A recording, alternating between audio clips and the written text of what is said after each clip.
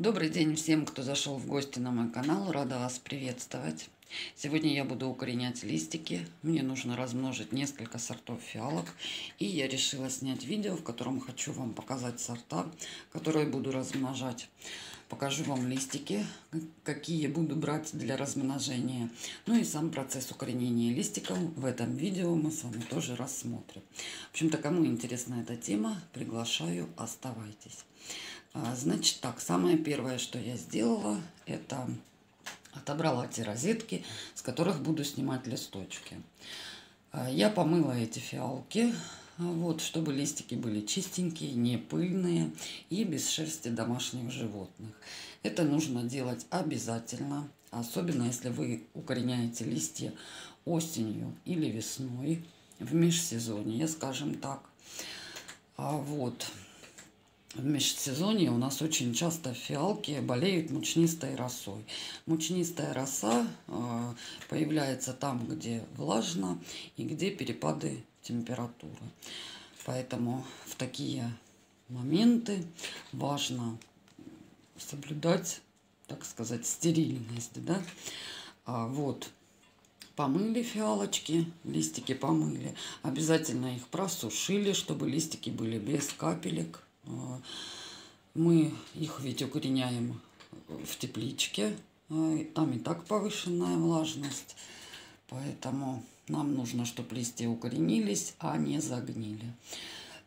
Так, кто-то, может быть, спросит, да, а, можно ли фиалки мыть, потому что я вот иногда читаю э, такие комментарии от пользователей, которые уверены, что фиалки купать нельзя. Так вот, фиалки можно купать, они любят такие процедуры. Их нельзя опрыскивать. Единственный момент, если вы моете свои фиалочки, вы должны следить, э, чтобы э, там, где они у вас просыхали, было тепло, не было сквозняков. Э, вот. Когда вы моете фиалки, старайтесь особо не заливать точку роста. Что еще? Ну, как мыть фиалки, я, наверное, сниму, как я мою фиалки, я сниму отдельное видео, не буду сейчас на этом а, заострять внимание. В общем-то, понятно. Помыли листики, просто водичкой просушили. Ну и дальше мы сейчас будем приступать к снятию листиков для размножения. Так, ну а сейчас приступим. Самая первая фиалка – это сорт Ек Черная жемчужина. Смотрим на розеточку. Вот такая вот не очень красивая розетка, потому что она у меня на подоконнике. Сейчас уже на подоконнике прохладно. Вот, что, конечно же, сказывается и на цветении, и на внешнем виде самой фиалки. А, значит, э, какие, какой лист я буду снимать здесь? Смотрим. Все листы, в принципе, пригодны для размножения. Абсолютно все листики. Но я выберу самый ровный лист. А, вот есть он, у меня вот такой вот лист, который вот слишком к низу, да, как бы обнимает горшочек. Его не, неудобно будет укоренять, он неудобно будет держаться. Поэтому я выберу самый ровный, допустим, вот этот. А, мне не жалко снимать лист даже с третьего ряда, вот в этом случае, потому что я планирую эту фиалку переукоренять и ставить ее на фитиль, на стеллаж. Так, все понятненько, да? Вот такой вот листик сняли. Отставляем его. Так. А, идем дальше. Дальше у меня сорт лес золота небелунгов красивый сорт, желтоцветковый. Фиалочка только начала цвести. А, розеточка, смотрите, какие листики подгорели под лампой. То есть слишком интенсивное освещение. И вот сразу листики вот такие вот некрасивые. Но тем не менее для размножения здесь подойдет любой листик. А, я выберу лист с нижнего ряда, самый такой вот зелененький. Вот он. Просто беру его, обламываю. Вот. Так вот. Если там остался пенечек на стебелечке, то ничего страшного. А, его потом, как только он начнет темнеть, э, нужно, главное, вовремя снять. Вот такой вот листик симпатичный. Лес золота небелунгов тоже его отставляем, чтобы не перепутать э, сорта. Так, дальше у нас. Дальше у нас вот такая вот лейлона. По поводу вот именно вот этой розетки я вам потом отдельно сниму видео. Потому что эта фиалка не совсем здорова. Вот, смотрите, какие красивые цветы, крупные, такие розово-коралловые, полумахровые. Очень такой хороший сорт, пользовался популярностью в этом сезоне. Так, вот листик с нижнего ряда я снимаю. Так, его я буду укоренять. Ну, а эту розеточку пока я вот так вот оставляю. И потом я сниму видео, я буду ее вообще полностью переукоренять и расскажу вам почему. Так, идем дальше. Это детка. РС птица Феникс. Не перепутать, путаю вечно название. А я одну розеточку цветущую меня очень-очень попросили, и я ее продала, а себе выращиваю сорт заново. Сорт не спортивный, поэтому я, э, не боясь, уже э, с детки буду снимать листик. Она еще хоть у меня и не процвела, вот, один листик, вот такой вот. Это молодой лист, здоровый, а, подойдет прекрасно для размножения. Вот такого размера сама детка. Но это уже почти старт. Так, отставляем листик. Здесь понятно, да? А, так, вот синичка. Смотрим. У меня взрослая есть розетка вот синички.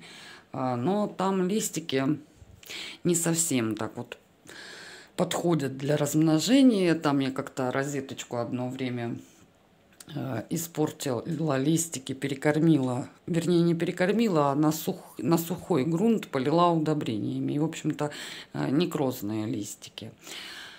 Э, но сорт мне надо размножить. Я беру, буду брать листик для размножения вот с такой вот детки.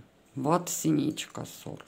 Точно так же снимаю вот такой вот лист. Вот. Все, вот этот лист молоденький, хорошенький, отлично подойдет для укоренения. Так, вот синичка оставляем. Я не боюсь с деток таких снимать листы. А вот, уже говорила неоднократно, что иногда, иногда это даже нужно делать, потому что часто бывает такое, что или же нужно размножить сорт, э, чтобы был дубль, или же пропадает по какой-то причине. И чтобы сохранить сорт, то нужно а, стараться укоренять любые листья. Старые, молодые, маленькие, с механическими повреждениями и так далее и тому подобное. Так, еще один сорт, который буду размножать. Ек сердце России пестролистная розеточка. Вот такой вот, такая красивенькая, аккуратненькая.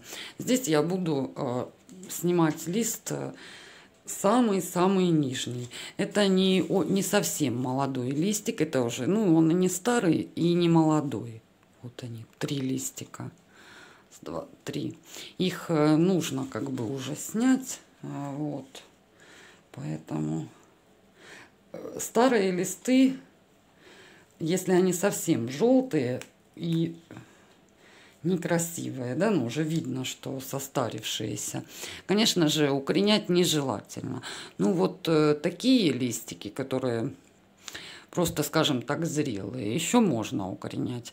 А, Ек сердце России э, лист, листья укореняются э, долго, потому что лист, ой, сорт пестролистный, вообще, насколько я заметила, такой долгоиграющий сорт. А вот на деток жадный, максимум три детки мне листик один давал, а так одна две детки. Поэтому я буду укоренять э, постепенно вот все три нижних листочка. Э, вот, в общем-то, вот такой вот листик я сняла. С этой розеточки. Так, отставляем. И есть еще у меня один сортик, который тоже срочно нужно размножить. Это Аве Джульетта. Этот сорт у меня уже очень давно в коллекции. А, всегда держала дубли, а в этом году что-то как-то все распродала, и дублей у меня не оказалось. Вот. И спрашивают этот сорт, очень часто спрашивают. А, эта розетка у меня на подоконнике на верхнем поливе, хотя, в принципе, я ее могу и на фитиль э, поставить. Уже начала зацветать. Э, вот. Днем очень солнечно. И, в общем-то, от солнечных лучиков цветочек пропал, не успел, не успев еще толком раскрыться. Сами листики, как вы видите, тоже пострадали от солнышка. Они такого жестковатого, э, жесткие на ощупь. Это пересвет. Вот. И немножко э, не зеленого цвета. То есть такие поджелтели. А, я буду снимать здесь два листика с этой розеточки. А, вот.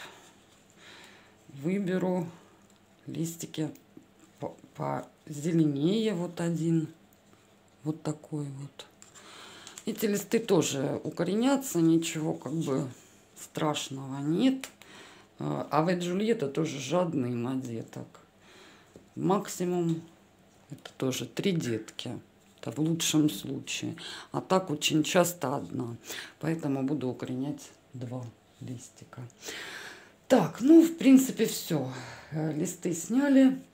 Теперь сейчас будем приступать к размножению. Я уже все приготовила. Вот. Стаканчики подписанные. Грунт Классман. А, с разрыхлителями и увлажняла я грунт э, препаратом Максим. Разводила препарат Максим и э, увлажняла грунт предварительно. Потому что, опять же, осень, перепады температуры, тепличные условия. Э, нужно себя по максимуму обезопасить, чтобы листы укоренились, они пропали. Так, вот такой вот черешок у нас. Обламываем его. Оставляю я сейчас где-то а, вот такой черешок. Раньше оставляла короче. Вот такой. А почему изменила, так сказать, технику укоренения? Стала замечать, что иногда лист не растет. Вообще, по-хорошему, когда укореняешь лист, он подрастает в процессе укоренения.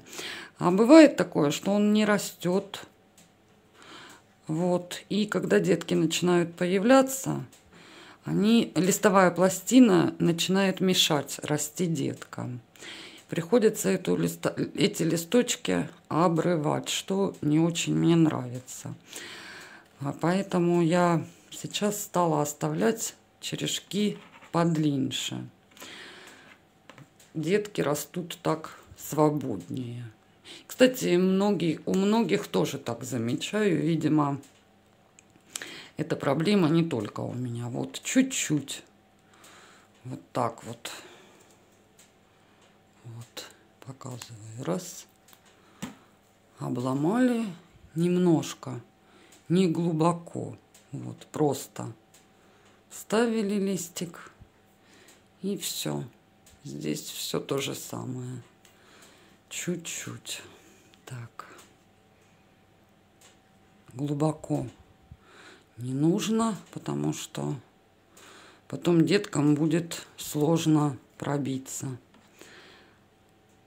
Будут кривые, косые детки, некрасивые. Так, идем дальше.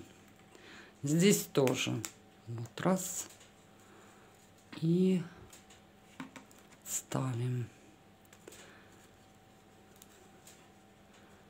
Так.